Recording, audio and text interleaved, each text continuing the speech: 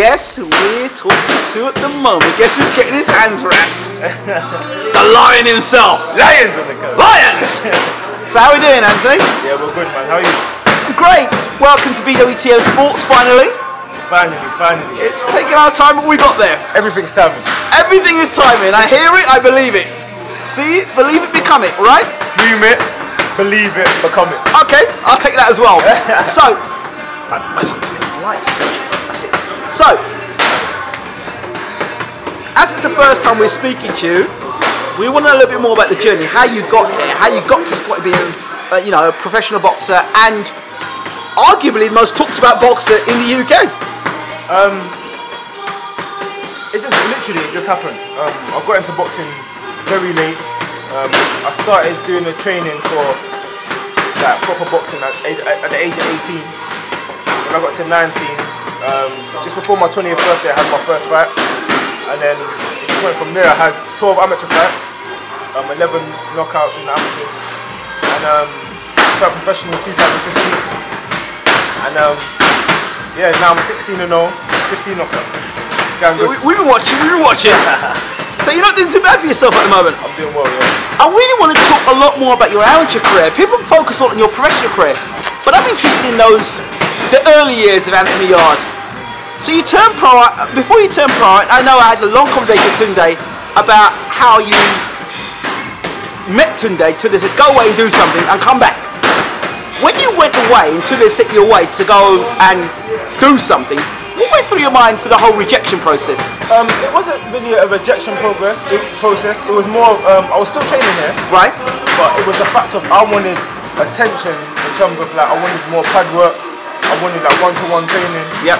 And um, at the time, Tunde was just saying he was only focusing on um, Otu, because Otu was turning professional, and which is understandable. I was, he asked me what, what I'm doing right now, and I said I'm doing the amateurs, and he said I'm not training um, any amateur fighters. So um, what I would suggest you do is, you know, a lot of people come and say they want to train or whatever, and then two months later, they leave, and then I've wasted two months of my life. I said, yeah, that's understandable. So he goes, um, whatever you want as an amateur. And I said, nothing. This when I was like six, seven fights in. And he goes, well, at least go and win something. And then um, I'll think about like giving you that one-to-one and all them, and all them kind of things. So um, literally, it wasn't a thing where like I went away and um, I wasn't here with. I was still coming here every day. Right. Um, but in terms of getting the attention that I wanted, Yep. um, I brought back a medal. I think I've done, I've done the box cup. I brought back the trophy. I said, yeah, I knocked out everyone in the competition. So he was like, okay. And then again, it was the same thing. Um, I was getting pad work, doing pad work, whatever, but it wasn't the same like one to one whatever. But as I said, I'm consistent, and I'm a person that I'm going to keep working hard. And um, yeah, eventually, you know, um, we ended up doing like a lot of work together. We went to um, Vegas. We actually went Vegas before I done the box cup. Okay. Yeah, so literally I came back after Vegas and then yeah, I won the box cup in 2012. Right. Okay. So, let me find a bit more about you in terms of where you hail from. I heard some sort of people say Leyton, some people say Forest Gate. You ask where Lennox Lewis comes from, some say he was in Forest Gate. No, he was in Stratford. No, no, no, no, he was in East Ham. No, he's West Ham. So where exactly are you from? East London. That's that's where that's where it all comes from because um, I've always just been from London. I'm a London boy. Um, Yep. At heart, East London. But um, in terms of living, Yep. I was born in Hackney. Like me. Like, Hackney. Hackney. um, and then when I was around, I was very young when I moved to Stratford. Okay. Again, but I was, I was still very close to Hackney. Yep. Hackney Market was literally two minutes from my house. Yeah, yeah, yeah. Tunnel, Market. the tunnel. yeah. Um, okay. so I lived in Stratford, basically um, Kennard Road, Right. Carpenter Estate, Right. and then um, I spent most of my um, my days there. Teenage years, I spent in Forest Gate. I'm, I'm a Forest Gate man. My dad still lives in Forest Gate. what I'm saying. What Where- part of Forest Gate? Forest Dean Street. Oh, I was on Catherine Road. Off Green Street. Yeah, Catherine Road. Okay. So, uh, What school did you go to? Forest Gate. Forest Gate School. I went to Bonaventures. Oh yeah. Yeah. Even my mum went Forest Gate. Oh my good lord. It's in the bloodline. Oh my lord. And what did you go Forest Gate when it got redone over, or was it Forest Gate when it was bad Forest Gate and nobody wanted to go to that school? It's, it was it, for me when I went there. It was bad Forest Gate. my, my, my year, my year was so bad, yeah. Yeah. They brought out contracts for, to try and control the students, and they sent I out, remember hearing about that. yeah, they sent out um, letters to everyone's parents saying, Yep. "We want you to sign this. So if your child continues, we have permission to ban you, like permanently exclude your child." Wow. My mum never signed nothing. She said that's a trick. So I stayed in school and finished my education, but a lot of my friends got kicked out Yeah. during the GCSE. Yeah. So um, yeah, my, my year was very very bad. Man. Imagine. I think LuaLua went to Forest Gate School, the Yeah, footballer. did, yeah, yeah. They yeah, spoke about him a lot. Yeah, yeah, yeah. Good friend of mine as well. Wow.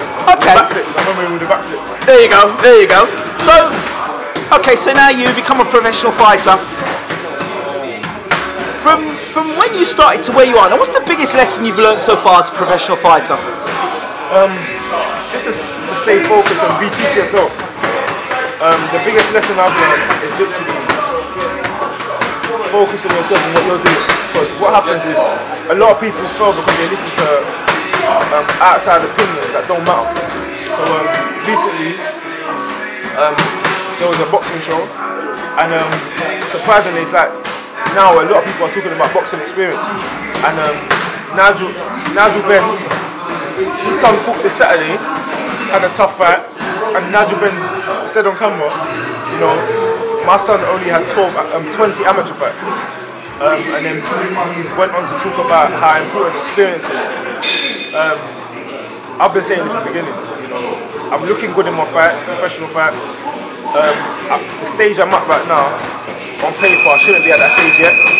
Um, I had 12 amateur fights and I'm still learning on the job. So that's what a lot of people don't understand about boxing. It's, a, it's very, it's, a lot to with experience. Now, the also mentioned, on average, people usually have over 100 um, amateur fights. Um, a lot of them are Olympians, Yep. etc.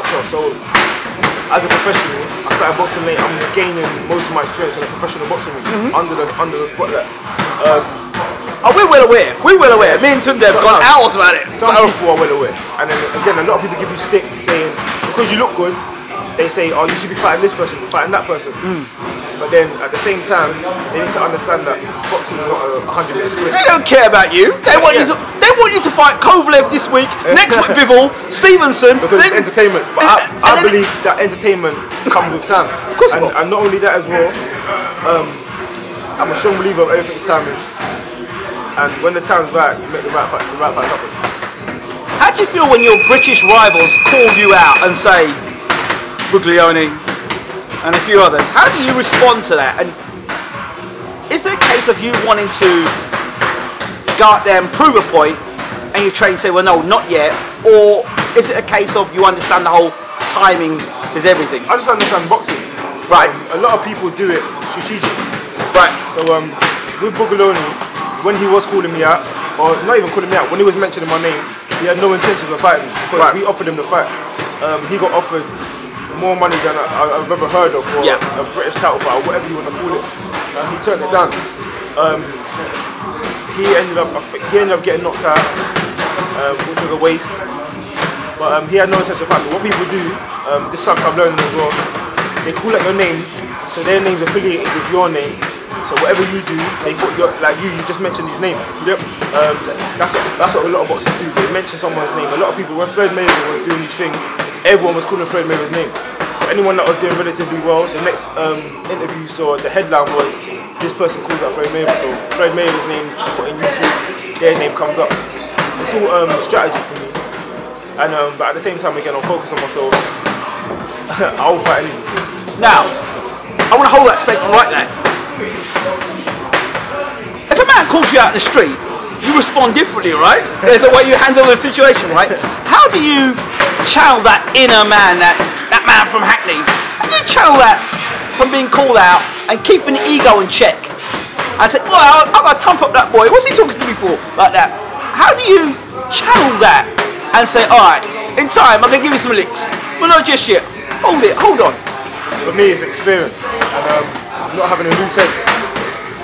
Um, just like what you said, you know, you could be in, you could, as you said, the street. The street and boxing is a lot different, but you could be in the street and the guy's calling you out um, while police are there. You know, he's saying, "Now come, let's fight," and police are standing there. So you don't want to fight. You know the fight's never gonna happen, but he's just talking. Yeah. And then there's someone now, you're in an alleyway, it's just you and him, and he's saying, "Come, let's fight." Yeah. Complete different story. So that's a, that's exactly what boxing's like sometimes. People call your name, they have no intention of fighting you. So again, I'm one of the people that I can look at a situation and say, "You're a joker." Okay. You don't really want to fight.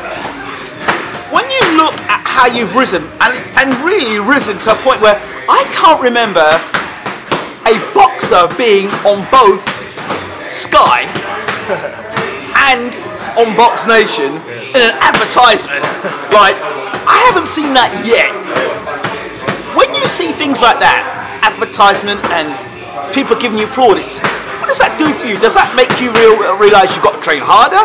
Does it make Anthony Yarde feel, yeah, about time? Or where is it for Anthony Yarde? I'm, I'm, I'm always, in my mind, I'm always saying I need to progress. I've said this, if you, if you watch all my interviews, Yeah. what I've been saying from the beginning. I need to progress. I need to keep getting better, stay focused, keep working hard because, as I said before, um, in my mind still, but, um, I'm behind.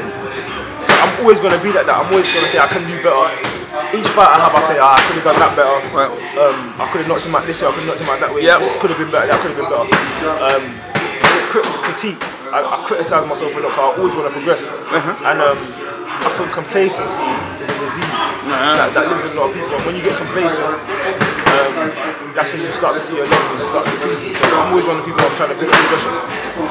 The Sec fight, I commentated live in the last fight you had. Commentated live in it. And I'm watching, I'm thinking, this boy could take this guy out anytime he wants to. He can take him out anytime. He's taking, I'm watching it round by round. I'm thinking, alright, okay, he's looking at him, he's looking at him. Right, no, eh, no, okay, this is going too long now because he can take him out anytime he wants to. I said, right, Tunde must say something to him. Step on the gas. The next round, you step on the gas and you stop him and yourself, see, told you.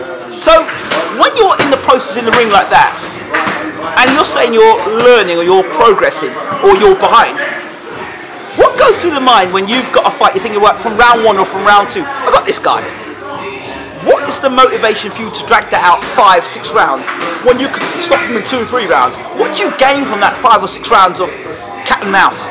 You know what? In, one thing I've learned in boxing, this is even just from watching boxing, it may appear that I could knock him out straight away. If it was that easy, a lot of boxers, you know, you hear guys in the pub, knock him out.